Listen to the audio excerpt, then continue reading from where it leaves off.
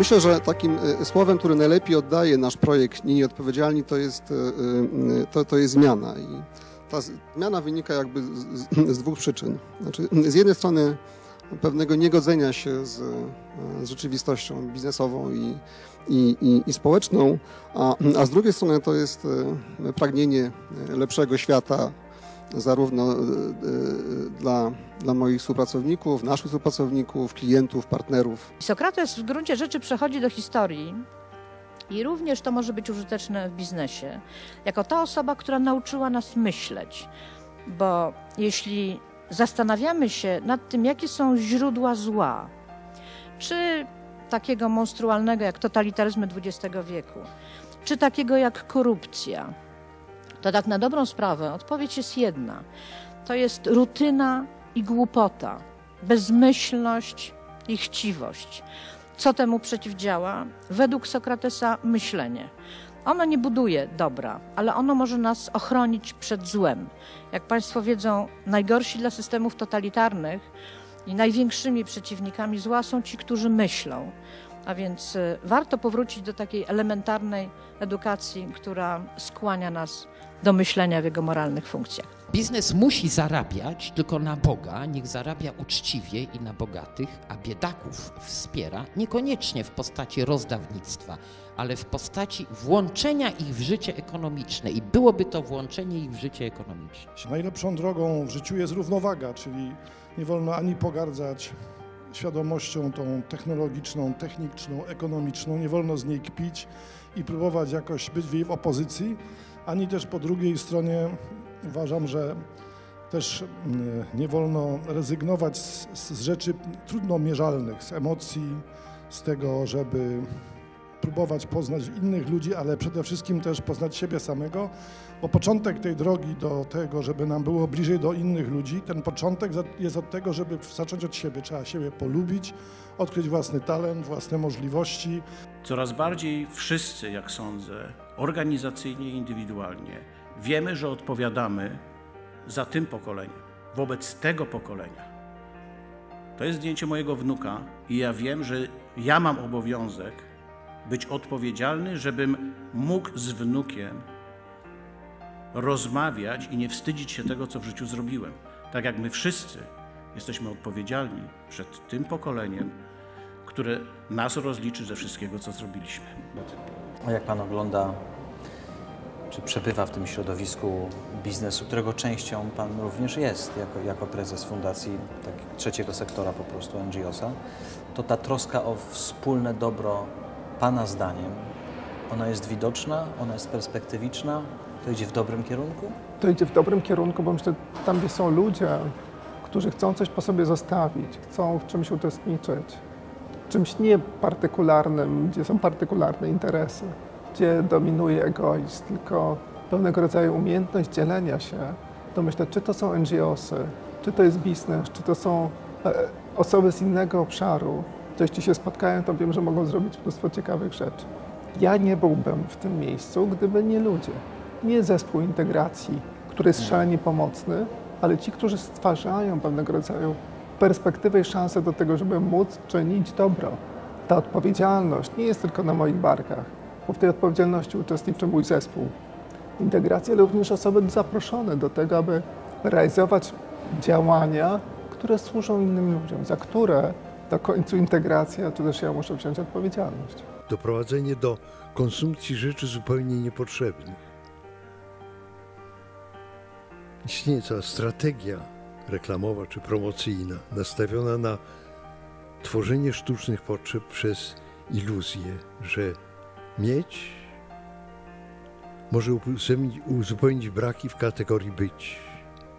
Kiedy kończył się komunizm, e, kiedy trwał jeszcze taki okres transformacyjny, najważniejszą wartością była wolność. W tej chwili kluczową wartością jest bezpieczeństwo. Otóż strategia na rzecz odpowiedzialnego rozwoju daje, i tutaj trudno orzec, być może złudzenie, być może iluzje, być może tylko obietnice, ale daje daje takie wrażenie, że można razem zapracować sobie na wspólne bezpieczeństwo. Jeżeli coś takiego się stało, że żyje, no bo mhm. żyje, to e, I to mam tylko określony czas. Wiem z góry, że to się skończy.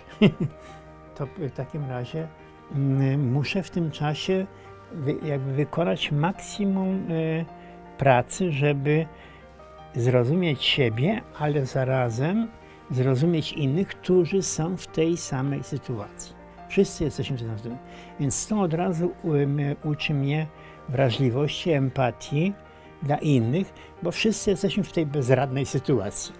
I, I, to w ten sposób stworzy ten klimat takiego wspólnoty i wtedy już łatwo przejść do dowolnej rzeczy, czyli odpowiedzialności za Polskę i, i za klimat, i za świat, ale y, właśnie raczej zaczynać od tego Rozumiem. swego małego kawałka. Czy naprawdę myślimy o buncie, czy o pokazywaniu buntu?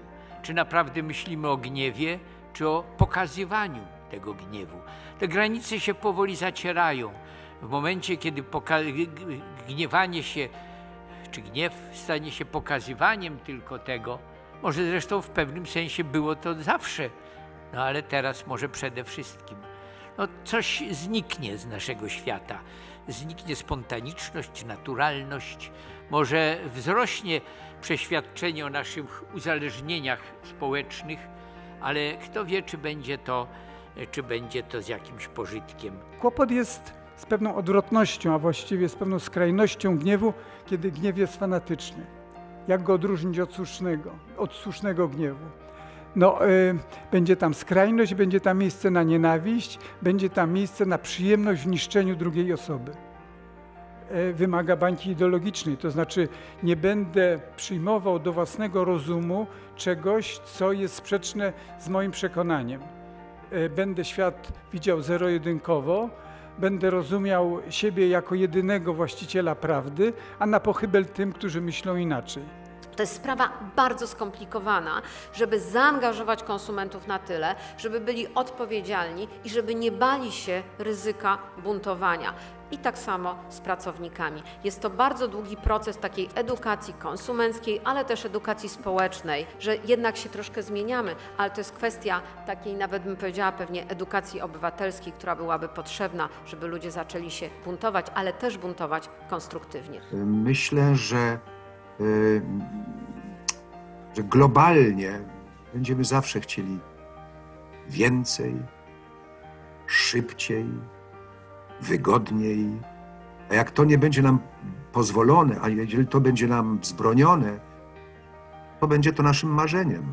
Dobry menadżer, czy lider, e, czy przywódca e, to jest taka osoba, która wierzy w to, że aby być lepszym w przyszłości, trzeba poznać siebie i trzeba znać e, opinie innych. Silny lider to jest osoba, która nie boi się dowiedzieć, że od swoich pracowników na przykład, e, że e, są pewne braki e, w doświadczeniu czy w zachowaniu lidera.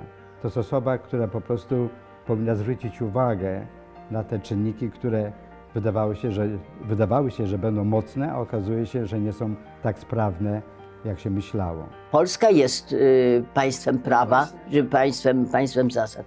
Ja powiadam, bywa bo jest napisane w Konstytucji, jest demokratycznym państwem prawa, ale to jest deklaracja.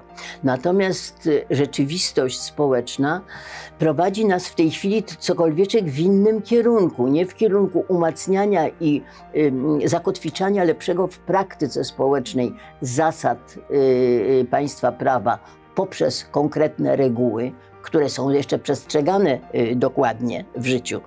Natomiast nas droga prowadzi w innym kierunku. Właśnie, a co jest na końcu tej drogi? Tak idziemy po tej drodze, idziemy i jak już dojdziemy do końca... Do tej, po tej złej drodze? Tak, tej atrofii, rozpadu, to co tam będzie? Co nas tam czeka? Demoralizacja społeczna. To znaczy, no, ludzie co in, inaczej albo się czasami wycofują na, emigra na emigrację wewnętrzną, lekceważą prawo, mm, nie mają kompletnie zaufania do państwa i jego organów, co powoduje dysfunkcję tych organów, dlatego że żadne państwo nie może funkcjonować bez zaufania społecznego i opierać się wyłącznie na sile i egzekucji. Wszystkie dobre strategie są podobne do pierwszego zdania Sanny Kareniny. Pamiętają Państwo? Wszystkie szczęśliwe małżeństwa są do siebie podobne. Każde nieszczęśliwe małżeństwo jest nieszczęśliwe na swój sposób. I, I tak samo jest ze strategiami. Wszystkie dobre strategie mają trzy wspólne cechy. Są proste, są wewnętrznie spójne i są dopasowane do logiki świata zewnętrznego.